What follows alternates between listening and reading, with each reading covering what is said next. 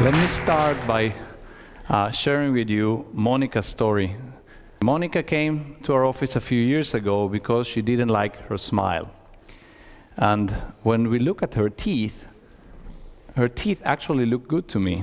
And as orthodontists, we get patients with crooked teeth, and our job is to straighten them out. And with that, we solve most of the problems. But she was not happy with her smile. So at that point, we will start questioning there more to the smile than just the alignment of the teeth. And today, I would like to cover three ideas. First, what do we look at and what you should look at to decide whether a smile is attractive. The second one is what happens to the smile with aging, with time. And the third one is what could you do to enhance your smile or to maintain your smile. Two years later, we were able to get this result for Monica. And uh, I will explain to you how we did this too, and uh, what is the process to do that. Before that, I would like to go over a few statistical facts about smiling. The first one is that kids smile much more than adults. Kids smile almost 400 times a day. Adults smile less than 100, and women smile much more than men. Some men only smile 20 times a day. There's an exception because the DMV ladies, they smile minus 80 times a day. the second interesting fact about smiling is that the smile is considered the most important element when it comes to attractiveness between genders. So people rank the smile higher than they rank the hair, the figure, the eyes, and the skin. And on my take, even if you have nice hair, nice build, nice eyes, nice skin, have horrible teeth, you don't, you're not there. So 55% of the people out of a thousand, uh, keep in mind that was done by the American Dental Association, so they, they are looking towards the smile. But still, if you look at studies that were not made, were not done by the American Dental Association, they also have the smile ranks really, really high. Here's another important one. This is an actual scientific study. If you do something wrong and you get caught and you smile about it, the consequences are much less severe. now, for those men that only smile 20 times a day, that's where you need to use it. One more, and this is another scientific study. They had an attractive woman in a bar, and she would establish eye contact with men. To some of these men, she would smile. To some other men, she would not smile. To the men that she smiled towards them, 60% of them would approach her. To the men that she didn't smile, only 20% would approach. So girls, if you smile, you have three times more chances of him coming towards you. The bad thing about this is 20% of men will come anyway if you don't want them to come. Last one. We have two types of smiles. I mean, you can classify a smile based on different criteria, but mainly you have two types of smile. We have one that we call the emotional smile, and the one we have one that we call the pose smile. The pose smile is the one you perform when they ask you for a photo. So you say photo, everybody smile, say cheese.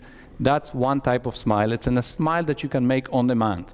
The other one, it's more related to emotion or to the part of your brain that decides to control the muscles of the face when you laugh. And this is different, the two of them. And you can see that in the movements of the eyes, and you can see them in the way the lips curl. Uh, in any case, the people that can perform their social smile very, very similar to their spontaneous smile, these are the people that are the most photogenic ones. Now, this is trainable. So a lot of people that are on TV or models, they, they sit in front of the mirror and they try to achieve the same spontaneous smile on demand when they do that. Okay, so now what is the most important thing that we look at when we look at the smile? We look at how much of your tooth you show. Well, either you have your lips at rest, or your lips are relaxed, or when you're smiling. We call it tooth exposure. So I'm going to use the word tooth exposure for the rest of the lecture. And the way I want you to look at it, it's with this analogy. Think about a painting. So the frame of the paintings are the lips. The matting of the painting are the gums. And the actual painting are the teeth. So for, for me, for each time I'm going to describe a smile, I'm going to use this analogy. So let's say what is normal in this case. How much tooth do you need to show when you smile? And people that look at their own photos, they can evaluate that, or you can look at your partner that's sitting, your neighbor, to see how much tooth they show when they smile. Normal is considered to show your full tooth, your full upper tooth, up to two or three millimeters of gum, it's still considered attractive. They did studies, and if you look at that line of photos, those photos have been photoshopped to show more gum or less gum, depending if you go up and down on the line. And they showed it to different raters. And the raters decided that if you show your entire tooth, it's attractive. You can show up to two, three millimeters of gum, and it's still attractive during smile. Now let's look at when you lip at rest. When you lip at rest, the normal is to show maybe four or five millimeters at age 20. And then every 10 years, we lose one millimeter of tooth exposure. Uh, and that's one of the consequences of aging. And if you look at the lip, the lip lengthens, the lip sags with age because the fibers of the lip lose the elasticity and the lip comes to a lower position in the face, making you show less tooth when your lips are at rest. That's why when you talk to older people, you can see how they show you the bottom teeth. And when you're young, you can still show mostly the upper tooth. Okay, here's an example. This is Brigitte Bardot. Brigitte Bardot at age 20, one of the most beautiful women in history, and you can see the curl of the lip, and you can see how the lip with age, a little bit over 20 on, on the left side, uh, lengthens, and now she's showing the lower incisor. This is the effect of gravity and loss of elasticity on the soft tissue. Unfortunately, this is not only uh, exclusive to the lips. Uh, it happens in other parts of the body. We think also that the amount of tooth that you show, the amount of tooth that you show when you lip at rest has also other type of implications. Because we say that it's good to show four or five millimeters of tooth while you are speaking or while your lips are at rest. So who do you think won the elections that time? and then the Republicans, they learned a lesson, so they brought another one, but still not enough. He's still showing the bottom teeth. Okay, let me show you a few examples of what we do in the clinic. This patient has been in orthodontic treatment for four years, and that was the final result for her. And if you look at her teeth, her teeth are aligned. The problem, her teeth are not in the right position in the face. They should be farther down.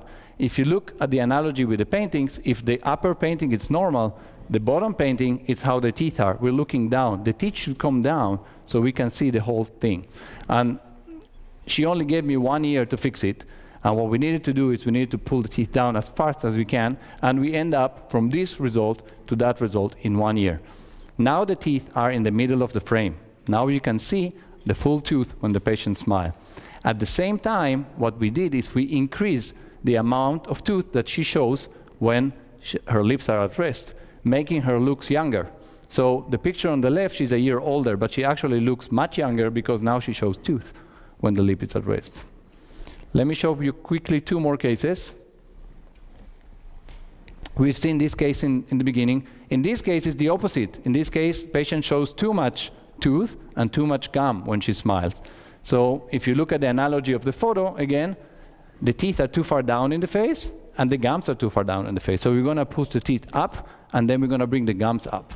And we went, you've seen already the result, we went from this type of smile to that type of smile. Now she shows the entire tooth with maybe two millimeters of uh, gum on top of the tooth. This is another case. This is even more severe. In this case, the teeth are showing too much tooth, too much gum, and everything is crooked to the side.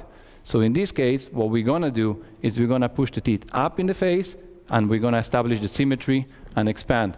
And this is done in orthodontics with combining with other procedures I'll talk to you about later. But in this case, what we have is that the picture is down and to the side, and we're going to push it up, and we're going to center it. And in this case, at the same time, we are normalizing how much tooth she shows uh, with the lips at our rest.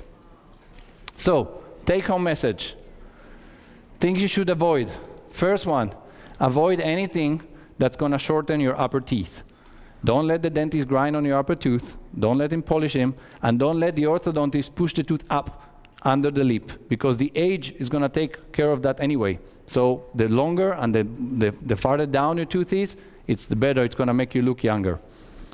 The second thing is avoid any lip enhancement procedures that will lengthen the upper lip. Sometimes they put fillers in the lip, sometimes they put grafts in the lip, and what happens is the lip looks thicker, but it comes to a lower position in the face. So the lip itself looks younger, but the face looks older because now the lip is covering too much of your upper tooth. I didn't have time to talk about that, but don't use Botox around the mouth because the, the, the, wrinkles that you have around the mouth are functional wrinkles, and these are not treated with Botox. These are treated with fillers. And fillers can make a very good job. Botox, it reduces your expression of your face, and on top of that, it, it's not the right treatment for wrinkles around the mouth. Botox is really good for your forehead or maybe for the corners of the eye. Don't use Botox around your mouth. And finally, always consult with your orthodontist because they are the, smi the smile specialists. They are the one that look at everything around your smile, lips, gums, and smile. What are your options? As orthodontists, we love to see people in braces on TV, and we think it's very cute. But the problem is that today's connotation of an adult or a late teenager with braces, braces, this is what they think about them. So what are your options? You actually have three options. You can use clear braces, which are still visible but discreet. You can use hidden braces, where braces are placed behind the teeth, or lingual braces. Nobody can see them. They're completely invisible. There's a lot of people on TV that you see regularly, and they have braces behind their teeth, and I know them because we treat them. And also Invisalign, which is another invisible option for you. I'd like to dedicate this lecture to my parents. They're in Barcelona. They would have loved to come here, Ruti and Julio. And finally, I will challenge you to decide whether the patients that you're going to see in the next photo, at the time that the photo was acquired, whether they have braces or not. Thank you very much.